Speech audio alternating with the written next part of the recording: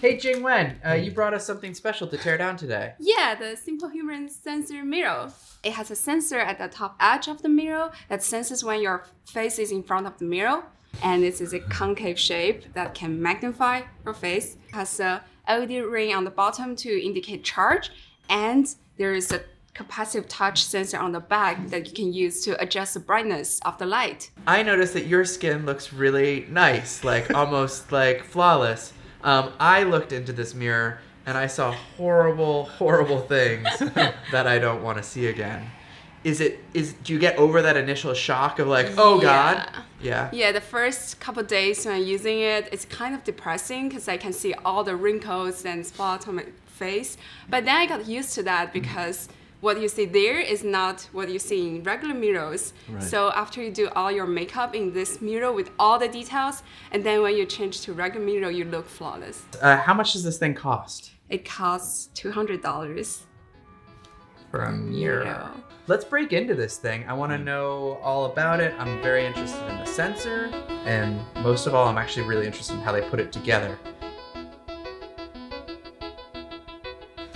So that was a lot of fun. Uh, it's really challenging to take something apart um, when you don't know how it goes together. And really good industrial design sometimes does a very good job of obscuring how things fit. So uh, we spotted screws on the bottom and the back of the mirror. We took those out. The assembly came apart really easily. And then suddenly it got really, really hard. It was like a puzzle box. If we couldn't figure out how to get into it, we spudged and screwdrivered and tried to tear our way around the outside of the mirror, and we ended up breaking it.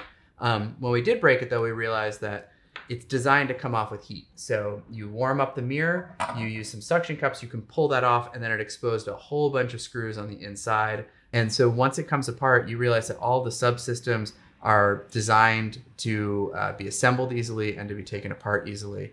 We tear down from the base, which has this holder holds down a battery, um, and then it connects to the main board that has all the Charging circuitry. charging circuitry and indication circuitry, and then it has this cable cable wire that's connected to the button and the char- charging port, and then it has another JST plug that's connected to this wire, uh, this cable that goes all the way up, and then there's this two LEDs that's super bright and facing uh, opposite directions for the light pipe.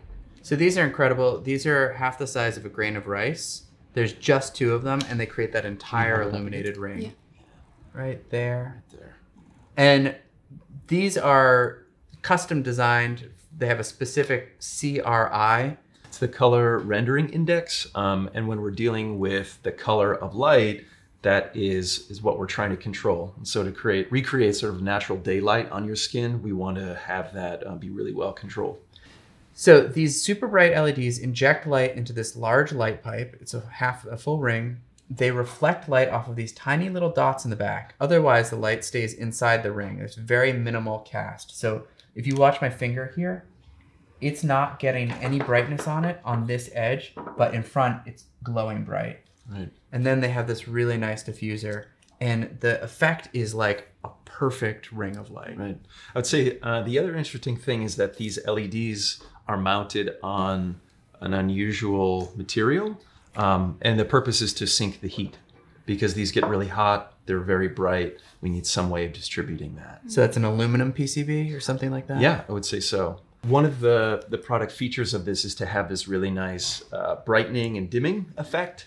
Um, and the way that they did that is through using uh, this little IR or infrared sensor that's hidden behind this window.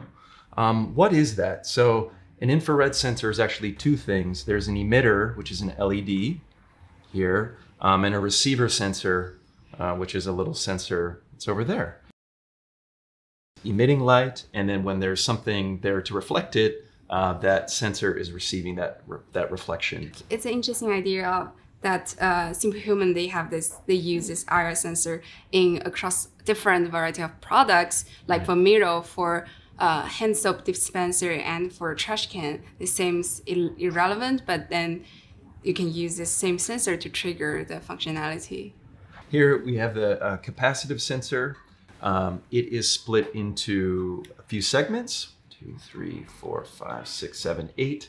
Um, so that's going to give you about eight levels of brightness. It looks like they're fading in between those to give the appearance that it has, you know, more levels of brightness. But Interesting. yeah, Cool. And you know, to go back to like this design for assembly element to this, whole thing's held together with screws. There's only that one glue point. It's also designed to snap together from an electronic standpoint.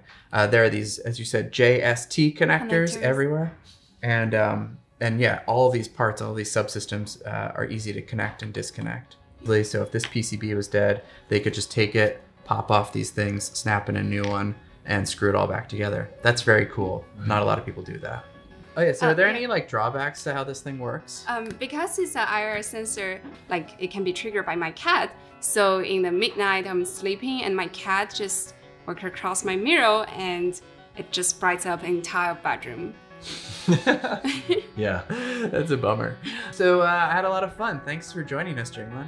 Thank you for inviting me. It's great. Bye. Bye. See you. In the future, wouldn't it be cool if this had a screen inside of it? So in the morning when you're getting ready, you could see the weather um, or your meetings or something like that. I like that idea. I, I know a lot of those uh, mirrors have like the there's the concave side that makes your face look horrible, and then there's the regular side which is just for like checking your hair out and Yeah. stuff. Right. Um, maybe like the regular side could be like your info mirror, and then you flip it over and it's got like Kind of- I yeah, like that. yeah, Yeah. could be cool.